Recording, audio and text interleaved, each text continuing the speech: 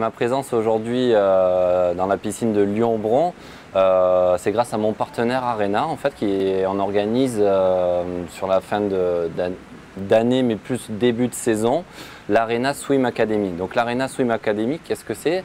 C'est un rassemblement d'une vingtaine de nageurs d'un club, plus une vingtaine de nageurs des clubs environnants.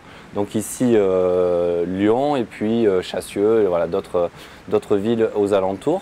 Comment se déroule la journée ben, C'est vraiment une journée de, transmission, de partage. Moi, j'ai eu la chance de vivre une grande carrière, d'apprendre beaucoup de choses euh, sur moi en premier.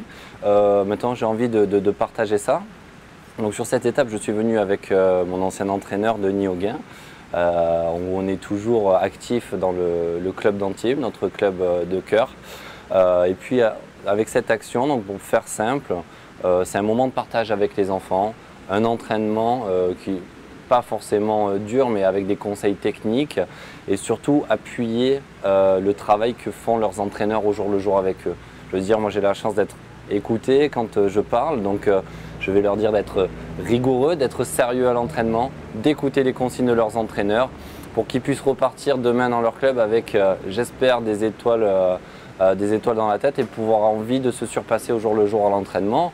Et si un jour ça devient bah, des champions, ce serait vraiment euh, un grand bonheur pour moi. C'est tout ce que je leur souhaite, mais en tout cas qu'ils puissent, euh, puissent vraiment s'épanouir dans ce qu'ils font au jour le jour. Les questions les plus fréquentes des jeunes, c'est euh, qu'est-ce que ça fait quand on est sur le podium, quand on entend la Marseillaise?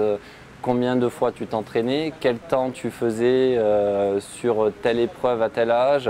Ils essaient de se comparer, de s'imaginer, et puis en même temps, ça leur ça leur donne une image peut-être un petit peu plus concrète par rapport à ce qu'ils ont pu voir à la télévision, dans les interviews, dans, divers médias.